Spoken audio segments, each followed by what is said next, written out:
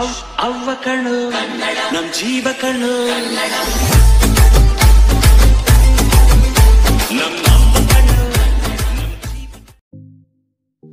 ಎಲ್ಲರಿಗೂ ನಮಸ್ಕಾರ. ಕನ್ನಡ ಗುರು ಯೂಟ್ಯೂಬ್ ಚಾನೆಲ್ಗೆ ಸ್ವಾಗತ. ಎಲ್ಲರಿಗೂ ಪರಿಸರ ದಿನಾಚರಣೆಯ ಶುಭಾಶಯಗಳು. ಇವತ್ತು ಪರಿಸರ ದಿನ ಆಗಿರೋದ್ರಿಂದ ಪರಿಸರದ ಬಗ್ಗೆ ಕೆಲವು ಮಾಹಿತಿಗಳನ್ನು ನಾನು ನಿಮಗೆ ತಿಳಿಸಿಕೊಡುತ್ತಾ ಇದ್ದೇನೆ. ಪರಿಸರ ರಕ್ಷಣೆ ನಮ್ಮೆಲ್ಲರ ಹೊಣೆ. ಹೊಣೆ ಅನ್ನೋದಕ್ಕಿಂತ ಅದು ನಮ್ಮ ಜವಾಬ್ದಾರಿಯಾಗಿದೆ ಅಲ್ವಾ? ಗಿಡ ಮರ ಬೆಳೆಸಿ ಪರಿಸರ ಉಳಿಸಿ ಎಂಬ ಕೂಗು ಎಲ್ಲ ಕಡೆ ಕೇಳಿ ಬರುತ್ತಿದೆ. ಅದಕ್ಕೆ ಕಾರಣ ಇಂದಿನ ಬದಲಾದ ವಾತಾವರಣ ಮತ್ತು ದಿನೇ ದಿನೇ ಸಾಕಷ್ಟು ಏರಿಳಿಕೆ ಆಗುತ್ತಿರುವ ಹವಾಮಾನ. ನಮ್ಮ ಸುತ್ತಮುತ್ತಲಿನ ಪರಿಸರ ಆರೋಗ್ಯವಾಗಿದ್ದರೆ ನಾವು ಆರೋಗ್ಯವಾಗಿರುತ್ತೇವೆ. ಪರಿಸರಕ್ಕೆ ಹಾನಿಯಾದರೆ ನಮಗೆ ಹಾನಿಯಾದಂತೆ, ಅಲ್ವಾ?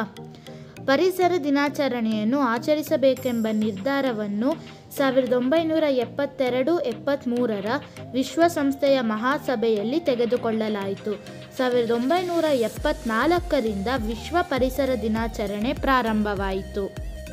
ಪರಿಸರ ತುಂಬ ಅಮೂಲ್ಯವಾದದ್ದು ಹಾಗೂ ಮರಗಳು ಭೂಮಿಗೆ ಅಲಂಕಾರ ಇದ್ದಾಗೆ.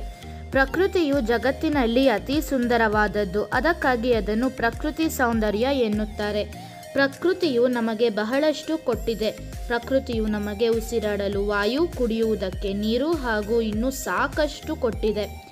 ಮನುಷ್ಯರ ಅಗತ್ಯಗಳು ದಿನದಿಂದ ದಿನಕ್ಕೆ ಹೆಚ್ಚುತ್ತಲೇ ಇದೆ. ಅವರ ಅವಶ್ಯಕತೆಗಳನ್ನು ಪೂರೈಸುವ ಸಲುವಾಗಿ ಮಾನವರು ತಮ್ಮ ಪರಿಸರವನ್ನು ಅವರ ಅಗತ್ಯಕ್ಕೆ ಅನುಗುಣವಾಗಿ ಸರಿಪಡಿಸಿಕೊಳ್ಳುತ್ತಿದ್ದಾರೆ. ನಿಜ ಅಲ್ವಾ?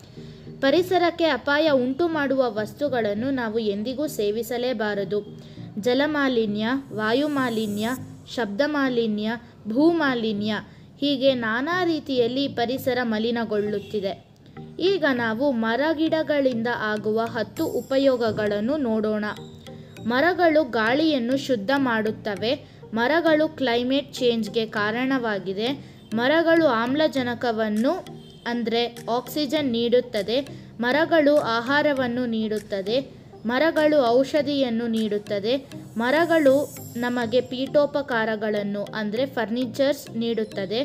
ಮರಗಳು ನೆರಳು ಮತ್ತು ಆಶ್ರಯವನ್ನು ಒದಗಿಸುತ್ತದೆ. ಮರಗಳು ನಮ್ಮ ಬೀದಿಗಳನ್ನು ಮತ್ತು ನಗರಗಳನ್ನು ತಂಪಾಗಿಸುತ್ತವೆ.